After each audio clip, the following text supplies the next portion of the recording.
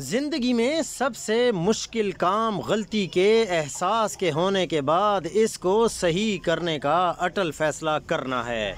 ये एहसास तो सबको हो ही जाता है कि गलती हो गई है और गलतियाँ इंसान ही करते हैं।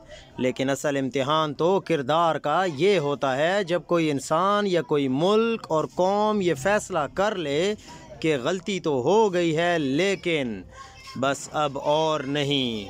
क्या वक्त नहीं आ गया कि हम बतौर कौम और रियासत ये फ़ैसला कर लें कि बस अब और नहीं। जितनी गलतियाँ हुई, सो हुई। अब इनको ठीक करने का वक्त आ गया है। बहुत काम है करने को। दुनिया बहुत आगे जा चुकी है। आगे बढ़ना है। आज़ादी का असल समर अभी तक सिर्फ़ एक ख्वाब ही है, एक सुराब है। ये एक हकीकत है कि हम दुनिया का लोहा बन सकते थे, एक मिसाली रियासत भी बन सकते थे। हम में ये सलाहियत सन उन्नीस में भी थी, पैंसठ में भी थी और इकहत्तर में भी। और आज 2023 में भी बदरजा उत्तम मौजूद है। बात सलाहियत की नहीं, बात एक मुसम इरादे और एक अटल फ़ैसला करने की है। कि अब हमने मज़ीद वक्त ज़ाया नहीं करना और एक कौम बनना है और पाकिस्तान को दुनिया की सबसे मज़बूत और सबसे तरक्की याफ्ता ताकतवर तरीन और मिसाली इस्लामी फ़राही रियासत बनाना है। हमारे तो अब हमसाया भी हमसे मुकाबला करने के बजाय हम पे हँसते हैं, मज़ाक उड़ाते हैं, अब वो हमें मुकाबले की दौड़ से भी बाहर समझते हैं। वो चाँद पे पहुँच गए और हम एक दूसरे को अडियाला और कोट लखपत पहुँचा रहे हैं। कुछ ज़्यादा नहीं हो गया वैसे।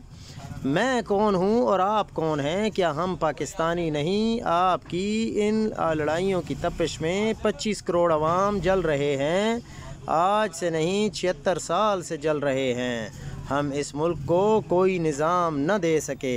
कोई सिस्टम न दे पाए, ना सियासत में, ना सियासी जमातों के अंदर, ना रियासती अमूर में, ना मजहबी मसाइल में, ना इलाकाई मसाइल में, ना तालीम में, ना ज़रात में, ना सनत में, ना इंसाफ के निज़ाम में।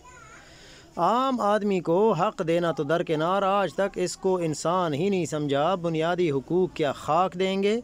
अपने नौजवानों को बाइज़्ज़त रोज़गार देने के मौाक़े देना तो दरकिनार हमने तो इनके आगे बढ़ने का जज्बा और अच्छे मुस्तबिल के ख्वाब ही छीन लिए। सबको मिलकर और बैठकर मसाइल का हल निकालना होगा। सियासी लीडरान भी इस मुल्क को इकतदार की जंग का अखाड़ा न बनाएँ और दूसरे ज़िम्मेदार भी मज़ीद इस मुल्क पे तजर्बे करना बंद कर दें। जितनी जल्दी बैठ जाएँ, उतना ही अच्छा है। मसाइल, चाहे कोई भी हों, मौजूदा सियासी मसाइल हों, जिससे ममलिकत आगे के बढ़ने के बजाय दायरों में घूम रही है। बलोच कौम के मसाइल हों, पुख्तूनों के हों, उर्दू स्पीकिंग के हों, शिया सुन्नी और मसल की मसाइल, इलाकाई मसाइल हों, या दीगर हल सिर्फ़ एक है बैठ कर बात करें। यानी शूरा कोई ना कोई हल अल्लाह ताला दे ही देगा। और कुरान में दर्ज है, व अमरहम शूरा बैनहम और उनका काम इनके आपस के मशवरे से है। यह आयत नंबर अड़तीस है सूर्य शूरा की। तो इसलिए आपस में मिलकर बैठें, चाहे वो सियासतदान हैं या चाहे वो गैर सियासी लोग हैं। सबको बैठकर बात करना होगी ताकि मसाइल का कोई हल निकले।